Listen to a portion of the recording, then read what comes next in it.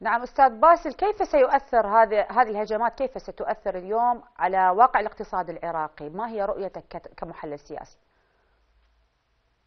هذه الهجمات وهذه الأساليب وهذه الانتهاكات ليس فقط على واقع اقتصاد العراق، سوف تؤثر على العراق على جميع الأصعدة وجميع الجوانب، كل مفاصل العراق الذي يحتاجها حتى خارجيا سوف تؤثر على العراق.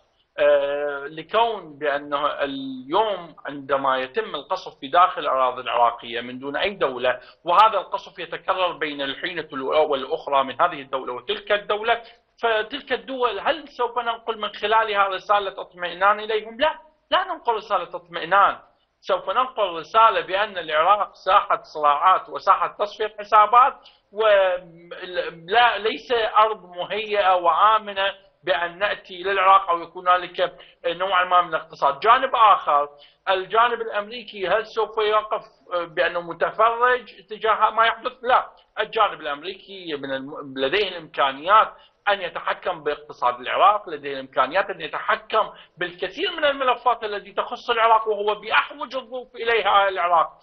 آه، سوف نرى يح... يتخذ إجراءات كثيرة. المسألة الأخرى بصراحة بهذا القصف آه، لم نرى أي دولة من الدول العربية قد صرحت وحدثت اتجاه هذه المسألة لكون الدول العربية نفسها تلاحظ بأن بمثل هذه السياسات التي تحدث في داخل العراق آه، بعض الأطراف هم مقتنعين وهم قابلين لكونهم آه، قريبين من الجانب الإيراني ولديهم علاقات فلا يتدخلوا بهذه المسائل. لكن سيدتي العزيزة بالله عليك سؤال.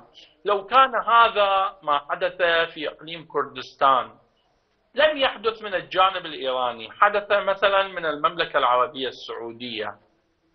ألم نرى كل القوى السياسية وبأخص بالذكر القوى السياسية القريبة من الفصائل المسلحة سوف تقلب الدنيا بتصريحاتها بخطاباتها بكل هذه المسميات. وإن قارنا بصراحة موقف المملكة العربية السعودية وموقف إيران. إيران تجيب وتذب علينا بالصواريخ بداخل العراق وولد الخايبة هم اللي يموتون بها يستشهدون.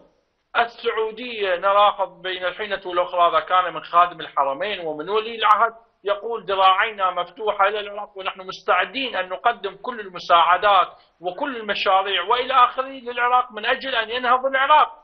فهنالك اختلاف بين هذه الدولة وتلك الدولة.